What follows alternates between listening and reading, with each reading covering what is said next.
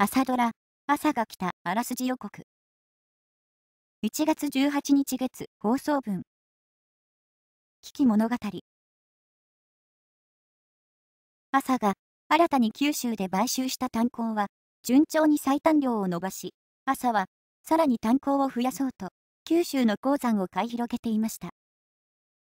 そんな中、炭鉱の支配人、宮部が大阪にやってきました。朝が、九州から大阪に戻る際、宮部を連れてきたのです。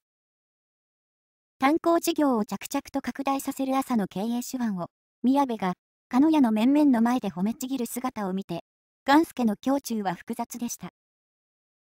ガンスケは案じていたのです。鹿屋の家督を継いで7年経過しながらも、未だに朝の存在感に気をされがちな栄三郎のことを。そんなガンスケの心配をよそに、朝は、再び、銀行設立を栄三郎に解き始めます。朝と栄三郎のやりとりを聞くガンスケの胸中は穏やかではありませんでした。